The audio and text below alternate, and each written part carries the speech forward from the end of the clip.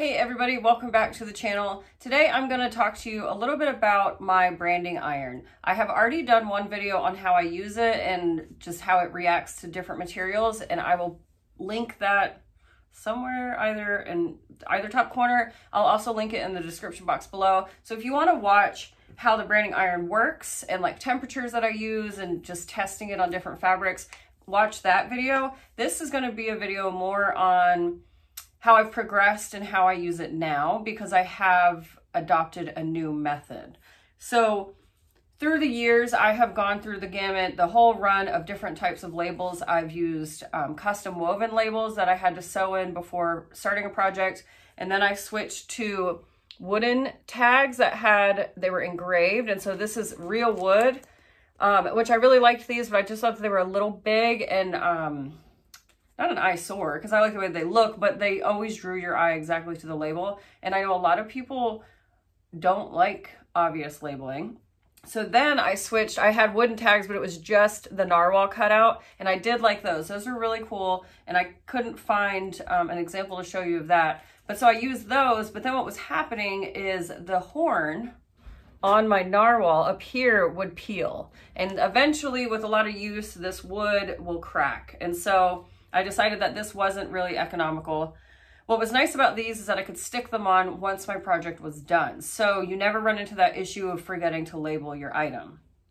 So then from there, just because I was wanting to get away from the wood look, I started using engraved cork tags. This is one that I used and ripped off, so it's a little, it's a little rough around the edges, literally. But so I used these for a long time, and you can get the all different color corks um, I get these from All This Wood on Etsy. They're extremely fast. They are priced um, competitively. Uh, cork tags can be a little expensive over time. Um, but yeah, so I was using these and then I also had smaller ones with just the narwhal as well. And the problem that I would run into is I would forget to label my items. And so I wanted to find something that I can use that over time would be more cost effective and that I could use for a lot longer and I could just have one look and it would be used on every single item. And so that's what brought me to a branding iron. Um, I got my branding iron in, I ordered it in December of 2019. So now we're rounding up two and a half years, almost three years using this. Three, 19, 20, 21, 22. Yeah, almost three years. Wow. So I ordered my branding iron from Branding Iron Unlimited. And of course, again, reference that original video before if you want to know more about that specific setup.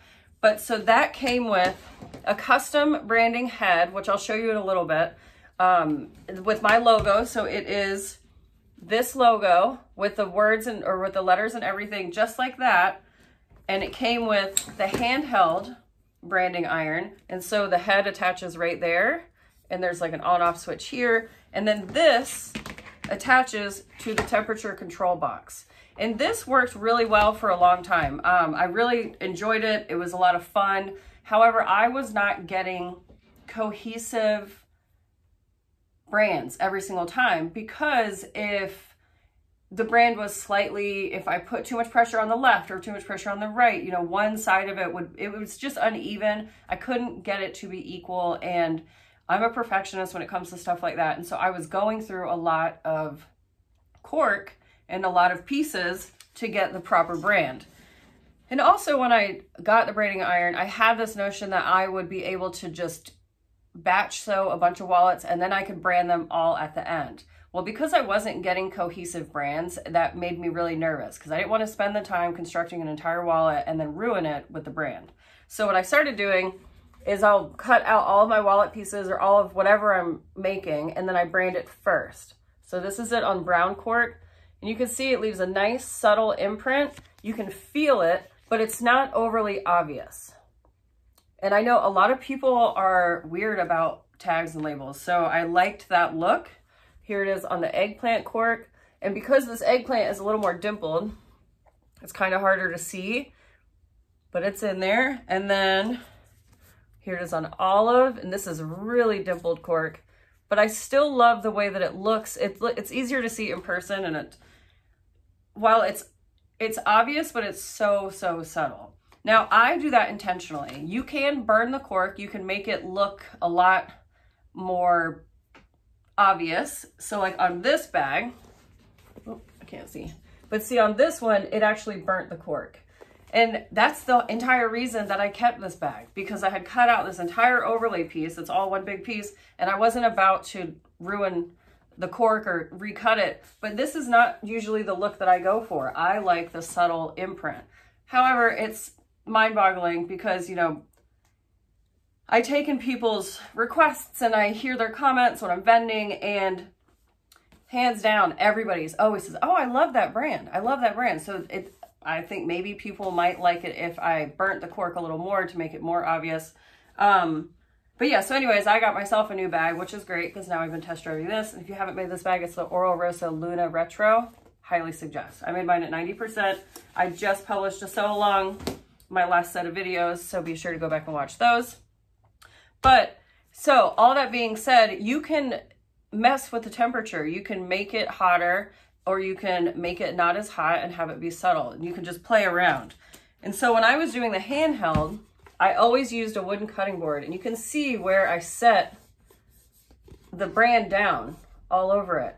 And all of these little tiny SewGnars, all of this black, all these black markings, that's that all says SewGnar. So that's the bottom of my brand. And what was happening was when I was holding a piece of cork onto the wood, it would kind of almost go all the way. Sometimes it would go all the way through the cork and it would, you know, you could see through it because I branded straight through the backing. So that was what I was trying to avoid.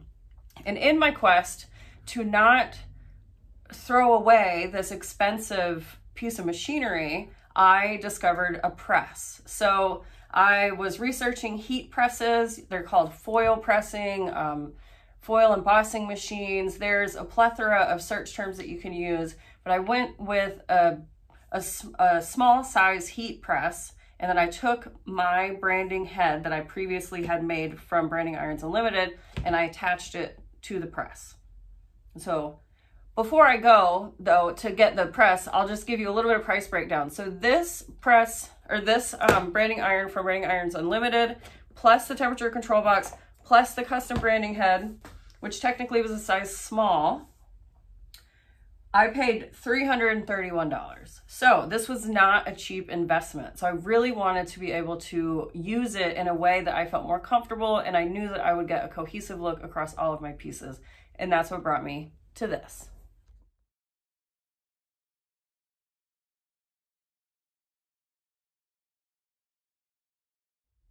So this is the heat press that I chose. You can see, given the size of my hand, this is not a large heat press. This base, this is the base plate.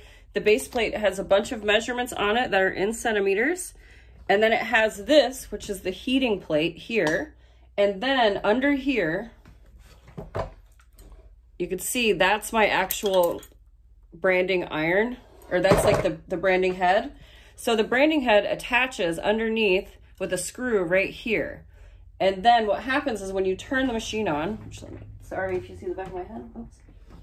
So you turn the machine on and the temperature control box comes on. Now this temperature control box tells you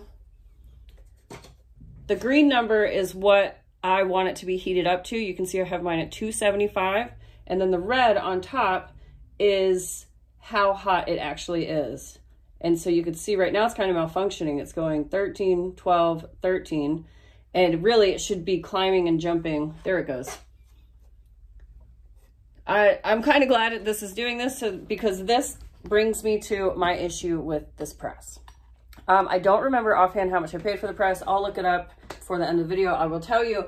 But again, not a cheap investment. Um, overall, much cheaper than a lot of heat presses that I found. However, took several months to get to me. It arrived to me, the temperature box didn't work. So then I had to deal with the company and get a new temperature box. And then they provided no instructions on how to fix it. And luckily, one of my best friends is an electrician, so he came over, swapped out the temperature box. Okay, we're good to go. A few months later, same thing happened. Temperature box stopped working. And then I had to fight with them on it to send me more. So eventually they just sent me three temperature boxes. So if that doesn't tell you a little bit about the quality of the machine, then I'm not sure what will because they just sent me, they sent me new heating rods. So the, the way that it heats up, is this these heating rods here heat up this plate down here, which in turn heats up the head, my, my brand that's attached underneath. Um, and then to actually heat press something, you just pull this lever and it lays down on whatever piece you're pressing. I got this machine from ZONESUN on Etsy and I do not recommend working with them. It's Z-O-N-E-S-U-N. If you can avoid it, don't order from them. You can get the same exact machine from several other companies, and I would suggest reading reviews and making sure that they have good customer service before you invest the money. So now this brings me to the actual heating, the, the branding head itself. So the branding iron that I originally ordered was set to fit this 3 8 screw. Now, when I ordered this machine, I two times before ordering it confirmed that my 3 8 thread would fit into this machine. They told me without a doubt, absolutely it would. Well, that was another issue when I arrived, when the machine arrived, my branding head did not fit. So I put Brandon on it and I said, babe, I need you to get this to fit this. And so he was able to figure out um, we had to put like a spacer inside the branding head because this is thinner and you, yeah. So he figured that out for me. Um, it is a huge pain in the butt if something comes undone. Turn this off. Um, you can see, you see the, the red coil? That's the heating elements. This is really hot. That coil is supposed to be all the way in and I didn't realize it until I turned it on. Um, so that was a huge pain in the butt. But now that I have that worked out, it, it's it's okay. However, if I ever want to trade out the head and do letters, because that was something that I ordered. When I got my machine, I got the machine that has a second plate. So it has another, I should have prepared a little better, but here we go. So it came with this second heat plate and this heat plate slides right here it's not going to slide right now because my actual brand is under there, but it slides and it holds on. And then it came with this guy and I can put letters and I can brand names and numbers and things like that as well. This is a little bit tricky because everything is upside down backwards. So it's kind of a mental game that you have to figure out. But like I just made one for my new niece, Artemis. I made her a binky holder and I branded it for her. But so when I got this machine, I wanted to be able to do names. I wanted to be able to do numbers and do customizations and things like that. And the company did make my font that I wanted. They let me request the font and I was able to get a larger font because the numbers and letters that come with it are, I don't remember offhand. I don't remember how small, they're smaller. They're significantly smaller than what I ordered and mine are basically three quarter inch tall and I think there's are like half inch so I wanted something bigger. But so that was cool. The company let me customize my font. They let me customize how large I wanted it and they worked with me on that. They were really really responsive until I received the machine. Up until receiving the machine and talking through all of the specifics on the customizations they were on it. But as soon as I received it and things started malfunctioning they just stopped caring um, so basically that's it. That's what I use. Um, I do keep my handheld branding iron because this one does fail semi-regularly. It's been a it's been a while since something has gone out, but you can see I don't even put this has a case that goes on top of it and I don't even keep the case on it because this temperature box does malfunction so often that I have to replace it a lot. So I just leave it off. Um, I find that when I'm traveling with it and like jostling it around. It tweaks all these wires, which is to be expected, but that also messes with um, how well it works. Another thing is that the temperature itself, like when I had it on and it said 275, it's not actually reaching 275 degrees. It's off on the actual heat, but I just played with that heat higher and lower until I found a, a heat temperature that I liked the look of the brand on the cork. And so I played with the length of time that I hold it and, you know, again, playing with actual heat temperature until I figured out what I like. So now I have it set for 275. I hold it down and I put a lot of pressure. I'm, I'm holding, I generally do this and just count between eight and 10. and then it leaves a nice imprint on the cork.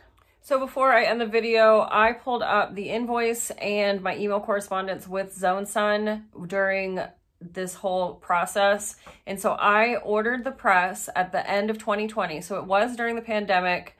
Um, it was, I think, I, or it was the end of 2020. I received it in February of 2021. And by September of 2021, I had to replace three different pieces of the, the press. I had to replace the control box twice, the temperature control box twice, and I had to replace the heating coils that I showed you that was like bright red that wasn't pushed all the way in.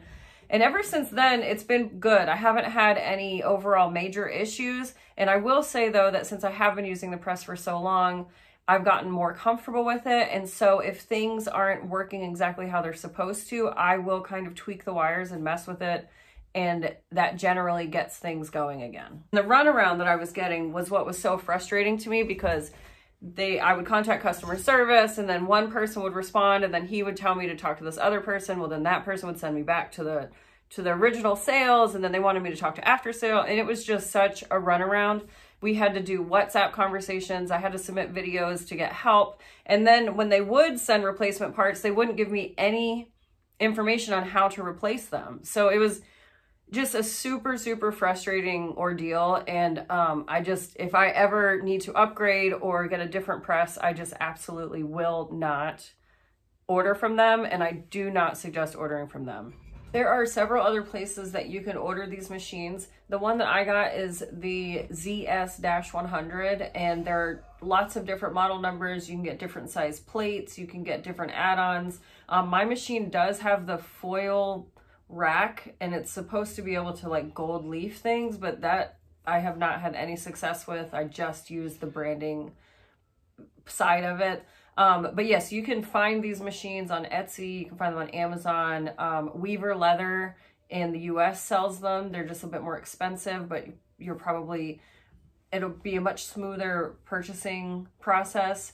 Um, I will say I found ZONESUN on Etsy and then I intentionally went to their standalone website because I was trying to help them avoid Etsy fees. And that is really what bit me in the butt because had I stayed on Etsy and processed, I would have had more buyer protections. So if you do find a press that you like online, I would just check the buyer protections and make sure that they're a reputable company. Um, all in all, I paid $414 for my press and for my font for all of my, my alphabets. I got uppercase and lowercase and then numbers. Um, and then I paid 331 for the handheld iron. So, you know, just shy of $900 on this total investment. And doing the math on the cork labels, I think I would get a hundred labels for 50 bucks or somewhere in that realm. Um, and so it probably, if it hasn't paid for itself, it will be paying for itself this year. So overall, I am happy with the investment. I do think that personally, I would skip the handheld and I'd go straight for a press. I would just find a more reputable company and I would get my custom branding head made from that same exact company so that you don't have the same stress and headache of trying to retrofit your branding head with the screw size. So let me know if you have any questions. I will do my very best to answer. No guarantees because I am not a pro in this at all, as I think I've made clear. I really don't know a lot about the machine. I just turn it on and it works. Um, but I will say I, I love the brand. I think it's a really great, nice, subtle way to make to mark my pieces and make them my own, but also not being like ostentatious and just loud. You know, I'm I'm more for the easier on the eyes. Um, but yeah, that being said, I do keep stock of these cork labels because sometimes I just really like the look of them. So, I mean, I do think it's best to have a wide array, but anyways, I'm going off track here. If you have any questions about the brand, Branding Iron, um, the company that I worked with, the other company, Branding Iron Unlimited, they were amazing. They were incredible, super quick, really great turnaround times, uh, very comprehensive conversations. If I ever had any issues, they were on the ball. So I can't recommend them more. And then ZONESUN on them. But yeah. All right. Let me know if you have any questions. I hope that this answered and kind of walked you through my process. And um, yeah, be sure to subscribe, like, and do all that crap. You know the deal. Bye, guys.